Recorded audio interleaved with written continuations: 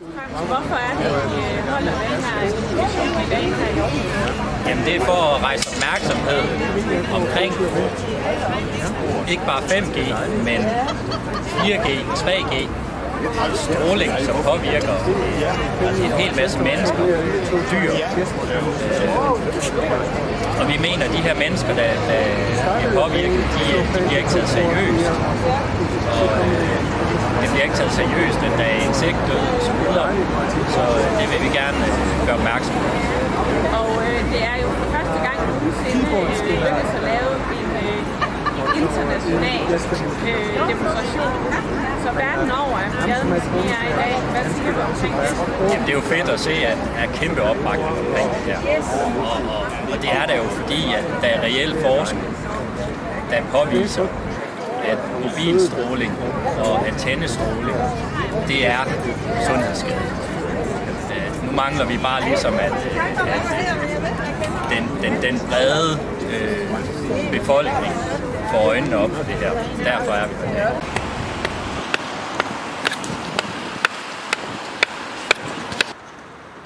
Panem et sciences. Det betyder brød og skuespil. Den romerske poet Juvenal, han levede omkring det første århundrede, og ordspillet bliver tilegnet ham.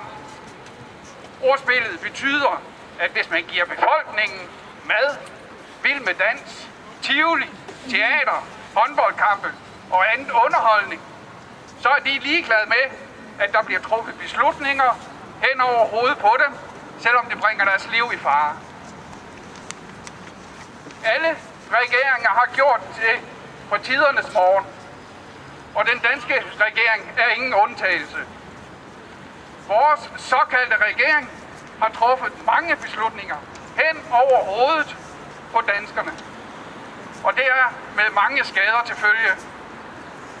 Og hvordan kan det lade sig gøre? Det er fordi, at vi er underholdt, og vi morer os ihjel. Grunden til, at vi står her i dag, det er fordi, at danskerne er ved at nå til den erkendelse, at mens befolkningen blev holdt under af underholdningen, så blev 5G enstemmigt vedtaget i Folketinget. Det skete på trods af, at ingen i hele verden kunne bevise, at det var uskadeligt. Tværtimod. Igennem flere måneder har organisationer og private personer forsøgt at råbe politikerne op uden synderlig effekt. Hvis vi skal ændre Danmark.dk, så skal det være igennem vores folk, så skal det ikke være igennem vores folkevalgte politikere, for de har alt for meget at miste til, at de vil erkende sandheden.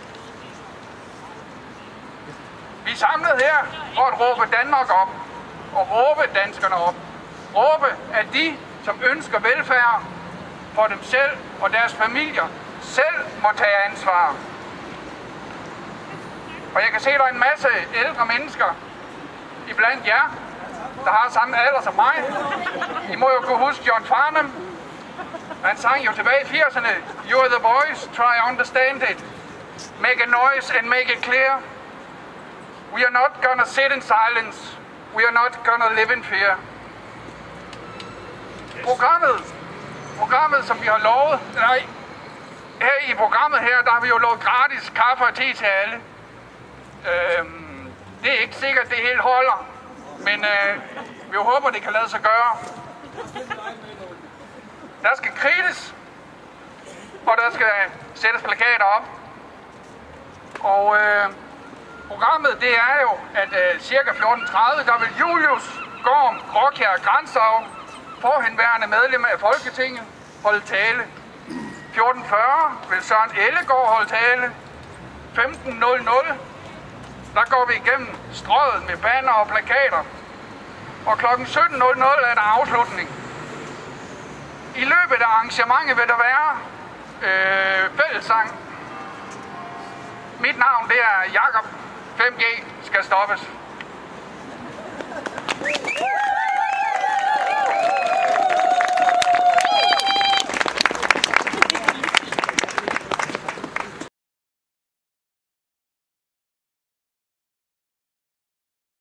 Typisk øh, sundhedsbekymring, det handler om.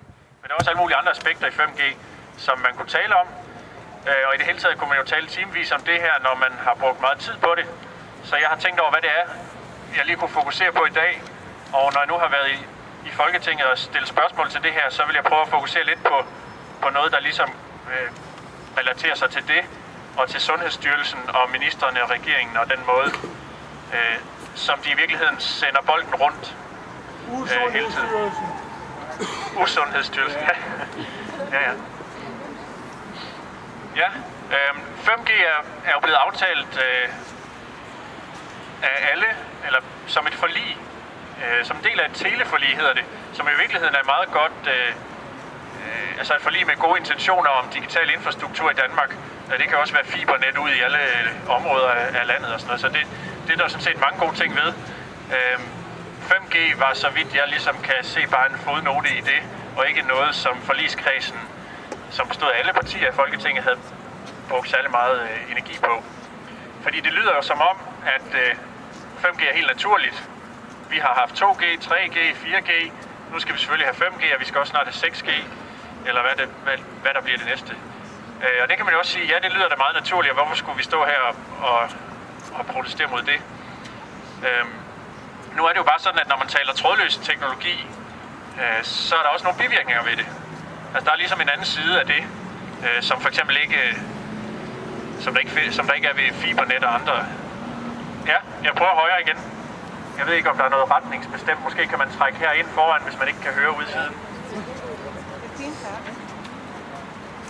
Godt, men jeg mener altså ikke, det er helt så enkelt, at man bare kan sige, at vi skal have 5G, fordi vi har 4G og 3G og 2G der er faktisk en forskel. Og, øh, men det er måske en forklaring på, hvorfor der ikke rigtig er nogen, der har diskuteret det. Og i virkeligheden er det det, der er hele problemet, og grunden til, at jeg spørgsmål til det her, at der har slet ikke været nogen demokratisk samtale om det her. Det er bare noget, der bliver rullet ud, og øh, uanset hvad man siger, så øh, får man at vide, at det er, bare, øh, det er bare noget, vi skal have, det er der ikke noget at bekymre sig for. Øhm, og hvem er det så, der siger det, at der ikke er noget at bekymre sig for? Øhm,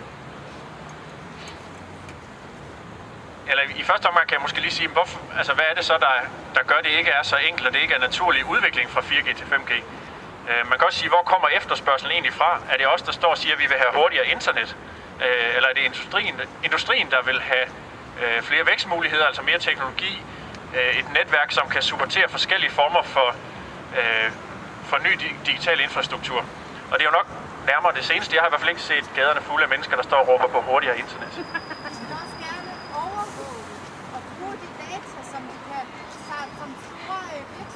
Og data om os kan man også bruge til rigtig meget, der er nogen, der siger. Der er mange ting. Så 5G er altså ikke bare hurtigere internet, som det ofte fremføres. Det handler altså også om, at alting skal være online. Øhm, du skal gå ind foran, hvis lyden ikke er så god herude. Ja. øhm, det er altså ikke bare hurtigere internet, som det ofte fremføres. Det handler om, at alting skal være online. Øh, og det kunne fx være, at vi skal have en sensor i bagdelen, som ligesom kan fortælle, hvornår der er noget på vej ud, så vi øh, kan få besked på vores smartphone om, at nu er det altså tid til at gå for os selv. Altså alle steder kan man forestille sig, at tingene kan blive smarte og digitale. Øh, og det er jo noget, som nogen tænker, det har vi brug for. Spørgsmålet er bare igen, hvad er det for nogle reelle behov, som er her for den her teknologi? Det er i hvert fald en gigantisk investering i infrastruktur verden over. Ikke kun i Danmark, men verden over, som vi bruger rigtig mange penge på, eller nogen bruger rigtig mange penge på. Og øh, så synes jeg også, det er vigtigt, at vi diskuterer, og vi ved noget om, hvad det er, der skal, der skal rulles ud. Øhm, men det gør vi ikke rigtigt, og derfor bliver vi testpersoner for det her. Det bliver ligesom prøvet af, mens det bliver installeret. Altså industrien ved ikke helt, hvad det er, men man kan se, at der er potentiale. Hvis vi nu sætter nok antenner op, øh, så kan man jo koble en masse ting på, og det kan der være, at der er en masse potentiale i det. Og det er jo også rigtigt nok. Det kan jo godt være. Men det, men det vil altså bare sige, at det er anderledes end 4G. Altså det er ikke bare en naturlig udvikling. Man kan ikke bare sige, det behøver vi ikke snakke nærmere om, fordi det er det samme, som vi har i forvejen. Det bliver altså en del af det er altså en del af et, et smart grid, som handler om at få alting til at tale sammen. Og det var 4G ikke. Øhm, jeg mener så, at vi allerede omgiver os med for meget stråling, og det er jo selvfølgelig ikke kun mobilmaster, det er jo også ting, vi selv kan styre, øh, som vi installerer i vores eget hjem og i børnehaver og skoler osv., men, men derfor mener jeg også, det er relevant at tage den her diskussion, når man nu vil opgradere nettet. Har vi allerede stråling nok eller for meget, og hvad med dem, der bliver syge af det allerede? Kan de klare noget mere? Fordi det bliver ofte fremført, at 5G bruger lavere energi, og dermed vil det stråle mindre og skade mindre end de andre ting.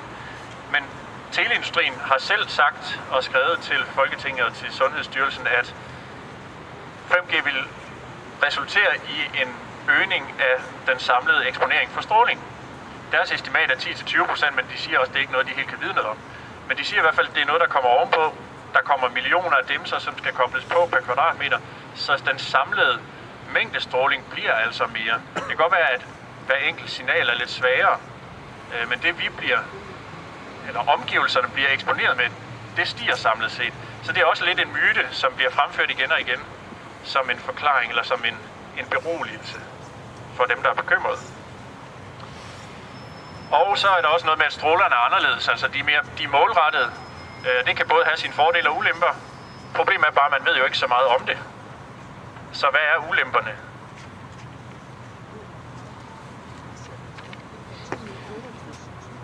Og hvordan er det så, vi ligesom øh, kommer... Hvordan, hvordan kan det så være, at det alligevel bare bliver øh, rullet ud, og der ikke er nogen, der stopper op? Jamen det der, det, der jo egentlig sker, det er, at man hele tiden henviser til Sundhedsstyrelsen. Og, øh, og siger, at det har de styr på, eller de siger, at der ikke er noget, vi skal bekymre os om. Og så er alle glade, og så kan vi godt gøre det, og så kan vi følge udviklingen, og så er det fint. Men problemet er bare, at Sundhedsstyrelsen har altså ikke sundhedsgodkendt 5G. Og alligevel så henviser ministre og ordfører i Folketinget, og Danmarks Radio, aviser og industrien selv henviser til Sundhedsstyrelsen, som ikke har godkendt noget. Alle giver altså ansvaret videre til Sundhedsstyrelsen,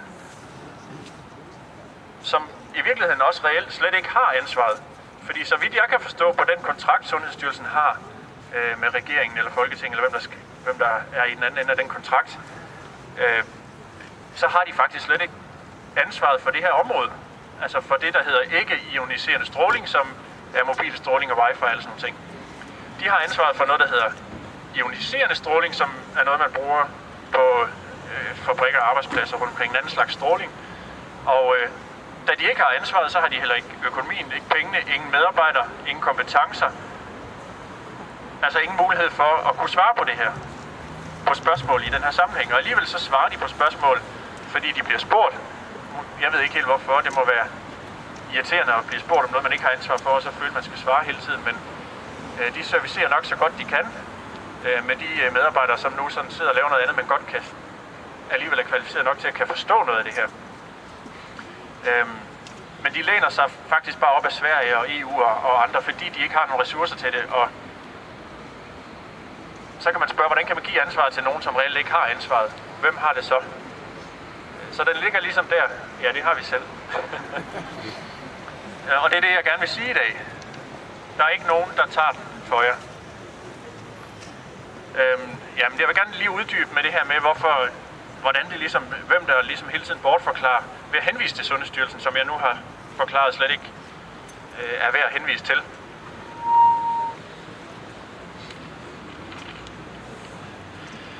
Øhm, ja, og det, når jeg nu siger, at Sundhedsstyrelsen slet ikke har godkendt det her, så, så er det ikke noget, jeg bare finder på, så er det noget, øh, jeg har læst, som Sundhedsstyrelsen selv har skrevet. Og det har de skrevet til Energistyrelsen, som i samarbejde med teleindustrien står for den her udrulning. De har nemlig skrevet til Energistyrelsen, at hvorfor får vi ikke nogen oplysninger, så vi kan kigge på det her? Hvorfor bliver I ved med at henvise til os, når bekymrede borgere henvender sig og spørger, om der er noget galt med 5G? Hvorfor bliver I ved med at henvise til os i Sundhedsstyrelsen, når vi slet ikke har fået nogen information om det her og ikke kan lave nogen vurderinger af det? Øh, så og det har, det har Sundhedsstyrelsen i flere skrivelser til Energistyrelsen skrevet, at kom nu med de oplysninger, hvis vi skal lave en vurdering. Og lad være med at henvise til os, før I har givet os de oplysninger. Så må I selv tage ansvar. Øh, det bliver Sundhedsstyrelsen så konfronteret med for godt et år siden af en journalist, som har gravet det frem. I virkeligheden tror jeg først, det var en journalist fra DR, der havde gravet det frem. Fik jeg videre sin redaktør, det skal du ikke skrive noget om. Og så gav han det videre til en anden freelance øh, journalist, som henvender sig til Sundhedsstyrelsen og siger, nu vil jeg øh, skrive den her historie om, at, øh, at I ikke har fået nogen oplysninger om det her, og at Energistyrelsen alligevel bliver ved med at henvise til jer. Det får øh, deres pressechef til at skrive en lille notits på deres hjemmeside om, at 5G ikke er noget, vi skal bekymre os om. Øh, fordi hun vil nødig have, at øh, befolkningen bliver urolig, tror jeg. Øh, og det, det, man ligesom skriver i sådan en meddelelse, og måden man ligesom siger, det skal ikke bekymre jer for, er, at man siger, øh, vi følger udviklingen løbende og nøje, og vi samarbejder med teleindustrien om at holde øje med det her hen ad vejen. Øh, det vil sige, at man siger, at vi får ulven til at vogte for, øh, og man giver ansvaret videre til industrien i virkeligheden. Sundhedsministeren henviser også til Sundhedsstyrelsen på trods af det, jeg lige har nævnt. Øh, det gjorde hun. Jeg spurgte i Folketinget på, på, på kamera for ligesom at få det ud på vegne af de borgere, der bekymrede sig, om det var noget, sundhedsministeren havde godkendt. Nu kan jeg jo forstå, at Sundhedsstyrelsen ikke har godkendt noget. Og det Sundhedsstyrelsen så vel, eller Sundhedsministeren vælger at gøre, det er at sige, at Sundhedsstyrelsen siger, at det er helt fint. Og det gentager hun så, når jeg, når jeg forklarer hende, hvad jeg lige har forklaret jer, at jamen, det har de altså ikke kunne sige noget om. Så der gentager hun så øh, det samme. Det bliver hun ved med at gentage, indtil jeg ikke har flere spørgsmål, og så slipper hun for at gentage det. Øhm, det viser så senere via en agtindsigt øhm, fra den her journalist også, at øh, ministeren faktisk slet ikke har henvendt sig til Sundhedsstyrelsen for at kunne besvare mit spørgsmål.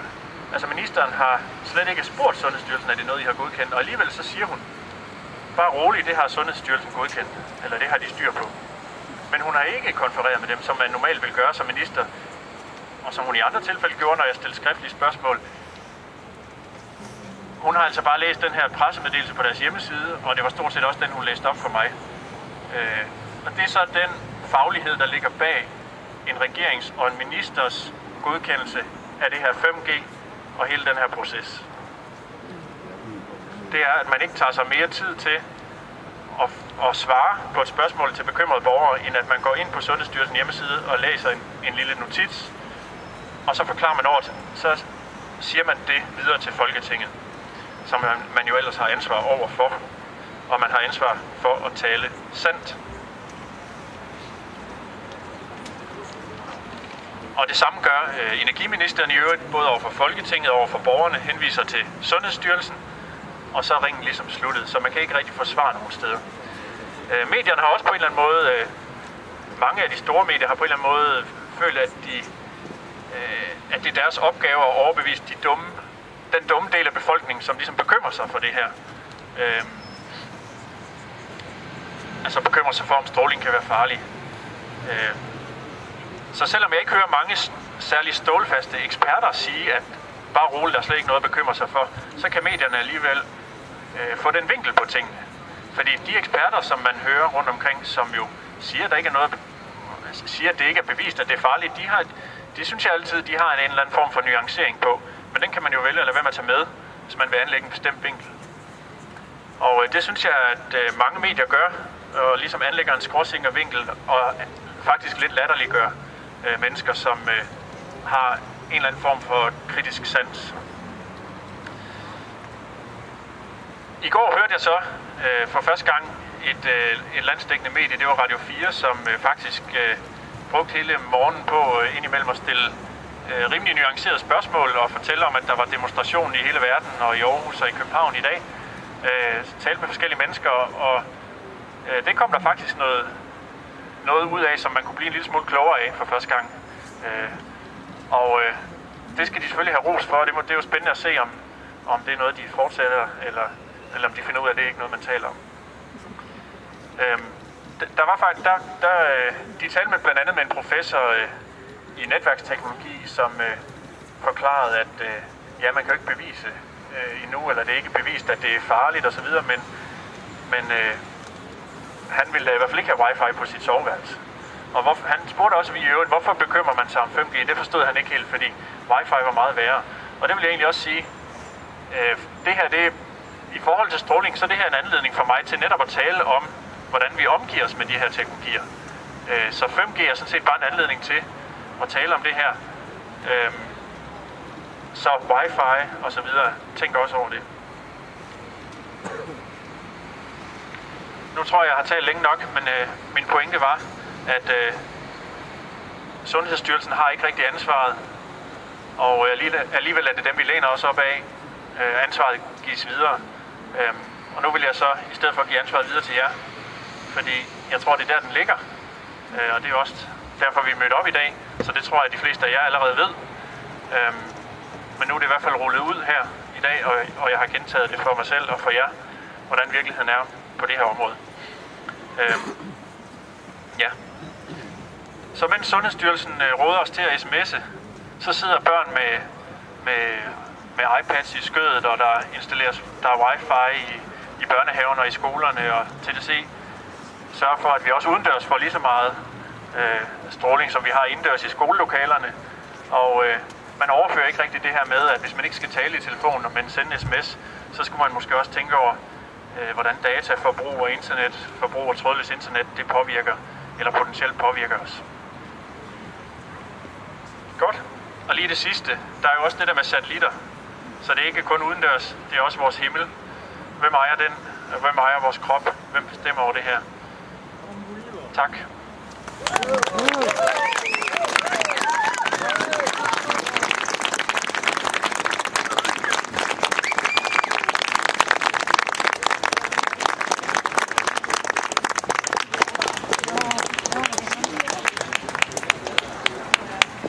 det var Julius Grænshav, tidligere medlem af Folketinget for Alternativ. Og nu vil vi øh, gerne have jer til at synge en sang.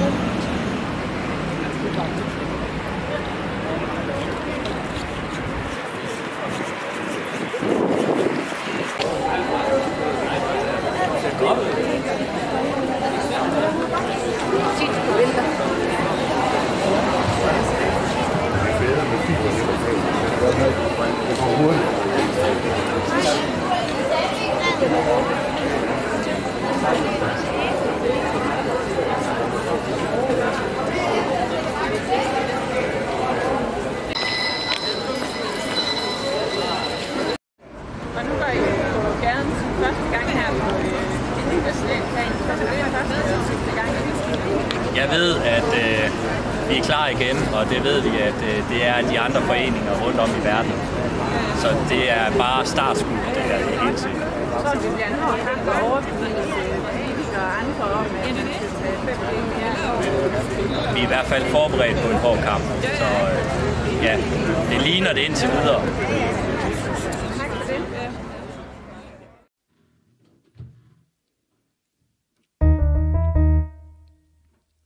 Hvis alle danskere i forening bekæmper elsmok for urening, så kan vi undgå EHS og ikke alle dø af stress. Vi skal have Folketinget til at lytte. Lad dem forstå, de skal beskytte. At dyr og mennesker færdes frit Og ikke går og får det skidt der er så meget stress, der er så meget angst Og ingen ved hvorfor, de ligger bare på langs. Det spiller liv, det spiller glæde. Når nu den viden er til stede Så slå for lortet. Få 5G væk fra kortet. Det er en drengedrøm helt uden forstand Og det smadrer vores land. Ja, stop, stop nu festen og klap dog lige hesten. Det er liv, det handler om. Det er ikke vækst og telekom. Vi skal, skal have måling. Der er alt for meget stråling. Det er miljø, det handler om. Og ikke vækst og telekom.